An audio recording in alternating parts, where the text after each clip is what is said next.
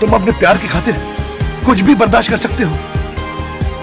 प्यार में सचमुच इतनी ताकत है। अगर प्यार में ताकत नहीं होती तो मैं यहाँ इस तरह नहीं आता। और आप मेरे लिए यहाँ नहीं आते